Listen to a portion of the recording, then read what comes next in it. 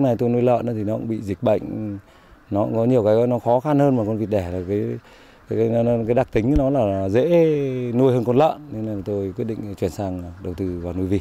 Thế bà con cứ đến mua trứng thì từ đấy thì tôi thấy cái cái, cái trứng người ta cứ mua dần tôi cứ nhân đàn dần xong rồi tôi quyết định ờ, đi vào đầu tư nuôi vịt.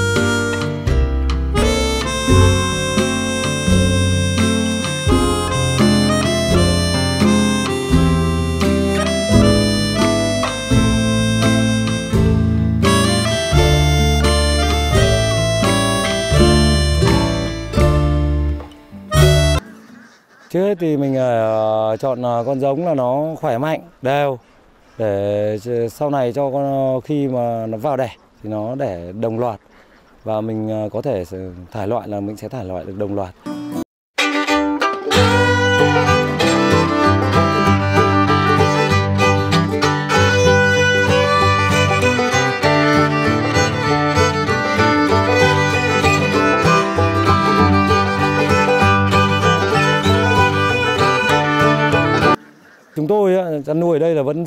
Vào ờ, đồng, thế nên là bắt vịt con thì chúng tôi sẽ hay bắt vào tháng riêng tháng 2 để chúng tôi dựa vào cái mùa thu hoạch của bà con vào tháng 4 tháng 5.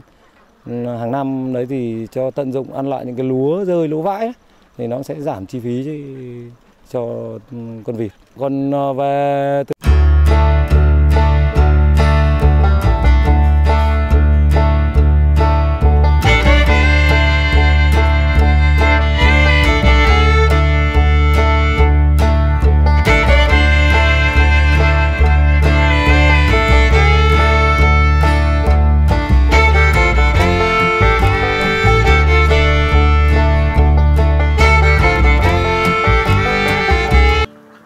Chuồng trại thì trước hết là phải khô thoáng, được ánh nắng vào chứ không nên để nhiều người đầu tiên tôi mới nuôi thì cũng cũng ờ, bắt chiếc nhiều người trồng cây chung quanh và cho mát nhưng mà thực sự ra nó lấy nó chỉ là để ủ lại dịch bệnh ở chung quanh chuồng thôi. Và chuồng là phải nắng vì con vịt nó không ngủ ở trong chuồng ban ngày. Chuồng phải được ánh nắng suốt. Khi ban ngày mà có nắng là từ sáng tối là phải nắng suốt. Thế còn về bãi đứng cho con vịt thì nếu lợp được thì tốt. Mà không lợp được thì cũng phải có một tí cây xanh để cho nó, ngày là nắng nắng nó có lấy chỗ nó nằm.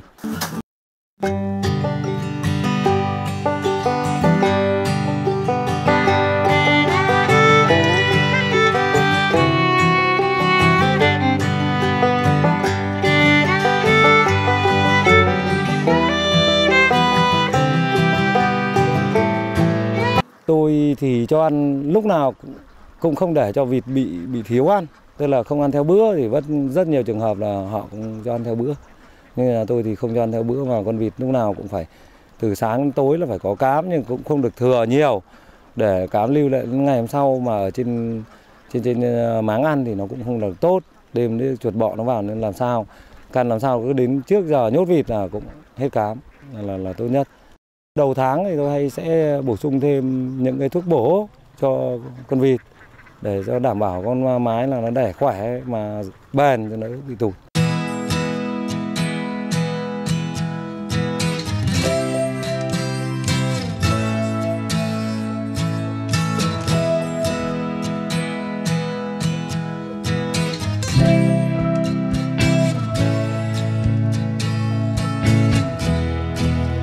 Nhìn chung là cái ờ, tiêm phòng cũng là cái điều rất tốt mà cho ăn phòng là điều tốt thì thông thường nhà tôi cũng sẽ cho ăn phòng vào những các ừ, một buổi nào đấy trong tháng tức là 3 ngày cho ăn ờ, thuốc phòng.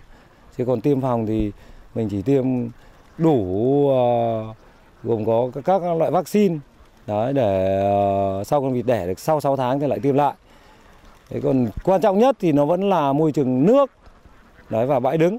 Nếu khi mà con vịt mà sạch nước sạch thì nó sẽ đảm bảo được cái, nó không bị tiêu chảy, mà thì nó đỡ phải dùng thuốc.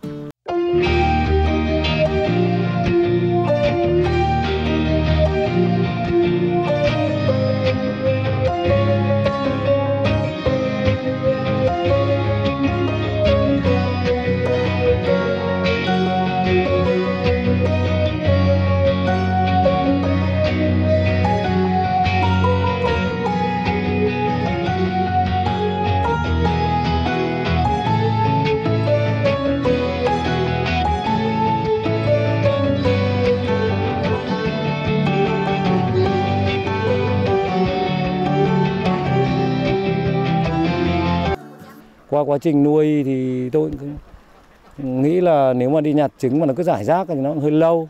Đấy, tôi quyết định làm ổ đẻ cho con vịt thì tôi sẽ làm chuồng sàn. Thì ngày con vịt có thể đứng trong sàn à, vẫn đứng trong chuồng được mà không ảnh hưởng đến ổ đẻ. Thì nó có ổ đẻ riêng tôi để theo dọc giữa.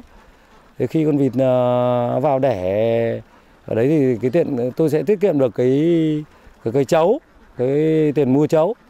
Mà cái phân thì nó, con vịt nó sẽ thải ra sàn sàn thì mình có thể rửa và nó sẽ sạch sẽ, đảm bảo môi trường.